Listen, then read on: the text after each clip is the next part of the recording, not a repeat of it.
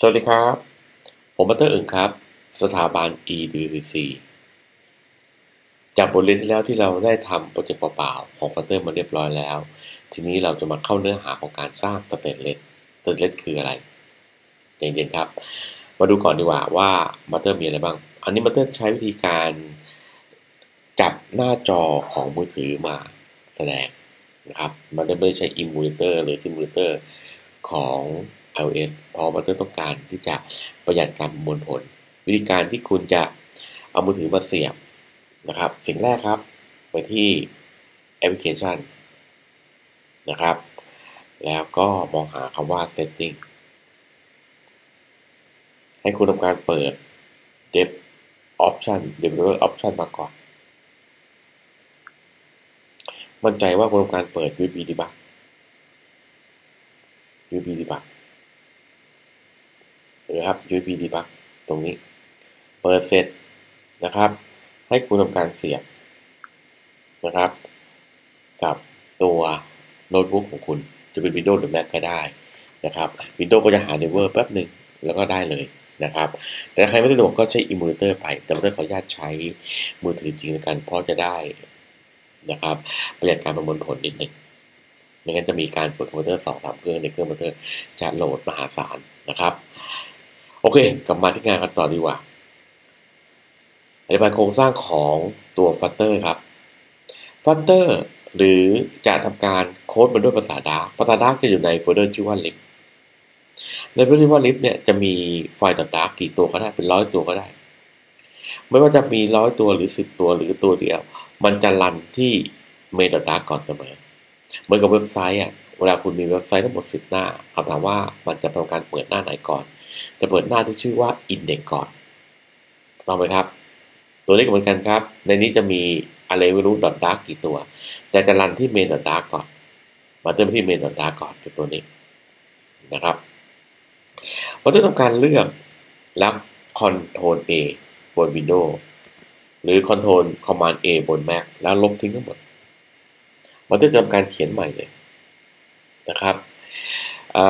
ในการในในการในการเขียนโค้ดเมนดาร์กจะมีการใช้หน้าจอ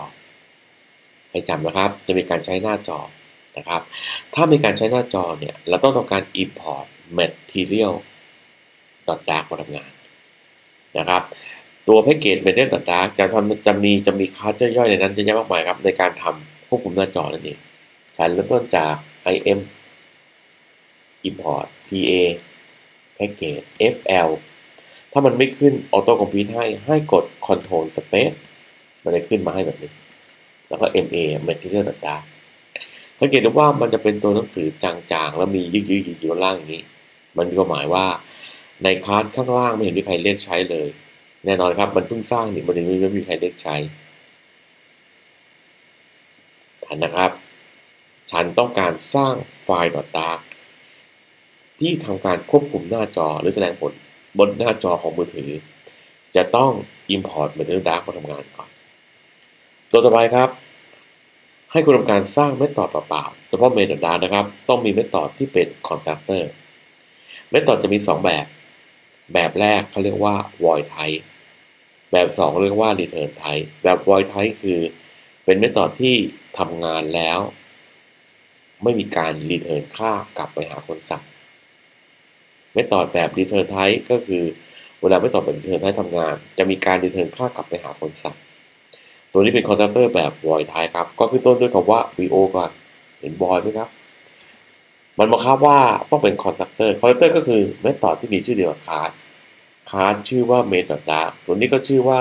main da อะ main เราได้เปิดใส่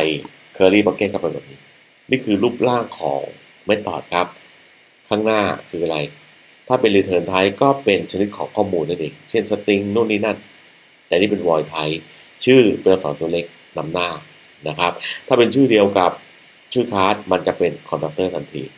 มีวงเล็บสำหรับใส่ argument แล้วก็ argument แล้วก็ curly bracket สำหรับใส่ action นั่นเองมันจะจับการ enter ลงมาต่ออย่างนี้นะครับ ขั้นตอนต่อไปครับ มาสเตอร์จะทำการสร้างคาร์ดที่สามารถสร้าง stateless ได้ stateless คืออะไรครับ stateless ก็คือสิ่งที่ให้คุณจินตนาการว่า stateless มันเหมือนกับ ให้มองว่ามือถือเนี่ย เหมือนโต๊ะอาหาร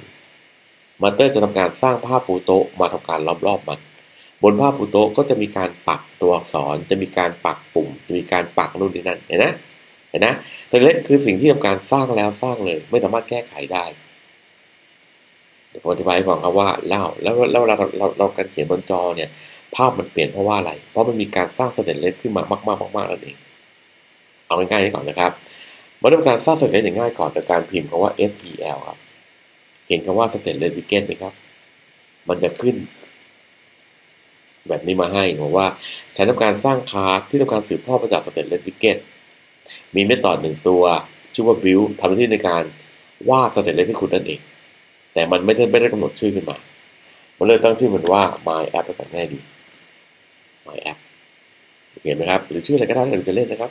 นะครับ ขึ้นมา ขั้นตอนต่อไปคือมันต้องกระเทือวางอยู่ใน curly bucket มันเตอร์จะทำการสั่งให้มันอายุครับ รันแอป A ใหญ่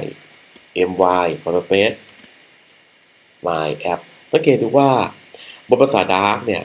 ถ้าเป็น My App เฉยๆแบบนี้เขาเรียกว่าคาร์ดถ้าเป็น My App แบบหนึ่งเนี่ยเขาเรียกว่า Object การที่มันเป็นคาร์ดอยู่ภายนอกเนี่ยไม่สามารถมารันตรงๆนี้ได้ต้องเอา Object มารันครับนั่นหมายความว่ามันจะต้องเลือก My App แบบนี้ตรงนี้นะครับนะครับทำการคอนโทรลจุดมันบอกว่ามันแดงนี่ไงมันมีแดงแล้วก็อยู่ตรงนี้เห็นไหมครับฉันคอนโทรลเขาไว้ใส่จุด มันแนะนำว่าให้เติมซิมิคอลอนเด็กแล้วก็จะหาย enter ไปครับ มันเติมซิมิคอลอนเอง เมื่อไรก็ตามถ้าคาชาที่ทำงานจะเอาอ็อบเจกต์ของ My App มาทำงานบนเมนนั่นเองยังยากนะครับ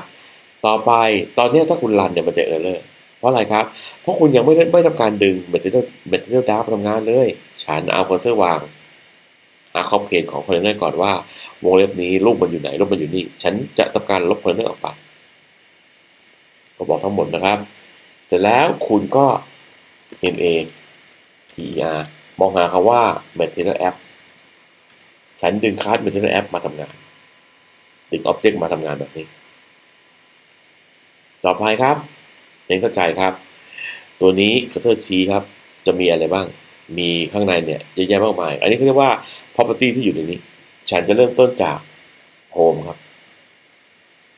home นะครับนะครับ เสร็จแล้วมันต้อง cursor ชี้ มันบอกว่าสิ่งที่อยู่ใน home ต้องเป็น widget มันก็จะเอาตัวอักษร tex text widget ที่มีข้อความว่า he S E L L O ไปโชว์บนหน้าจอแบบนี้ ดูนี่นะครับ มันจะทำการสร้างนะครับสเตตเลสก็คือภาพปูโต๊ะหรือแผ่นที่ทำการวางอยู่บนหน้าจอวาดแล้ววาดเลย สิ่งที่อยู่บนหน้าจอ สิ่งที่อยู่บน stateless จะเป็น widget ต่างๆมันจะทำการสร้าง widget ชื่อว่า Hello ไปวางอยู่บนนี้ มันจะลองสั่ง run ดูก่อนครับเดี๋ยวจะกลับมาอธิบายอีกทีหนึ่งจะทำการ flu หรือ pr run run ได้ปแล้วรอครับ เห็นไหมครับ เราจะได้สิ่งที่เปลี่ยนแปลงไปแบบนี้นะครับ นหน้าจอเราจะเป็นพื้นสีดำแล้วมีอักษรชื่อ Hello เกิดขึ้น stateless ก็คือพื้นสีดำๆที่คุณเห็นนั่นเองเห็นไหมครับเห็นไหมครับทั้งพื้นเลยนะครับ เสร็จแล้วมีการปักหรือมีการวางนะครับ ตัว widget ที่ชื่อว่า Hello เข้าไปแบบนี้ เห็นไหมครับ ตอนนี้เราสามารถสร้าง stateless มาได้แล้วเรียบร้อยแล้วเองนี่คือการเขียนโค้ดอย่างง่ายที่สุดเห็นเห็นไหมครับ น่าจะได้ น่าจะได้ นะครับลองทำไปก่อนเดี๋ยวบทเรียนหน้าเรามาพบกับการสร้างเสเตตฟูครับวันนี้กล่าวคำว่าสวัสดีครับ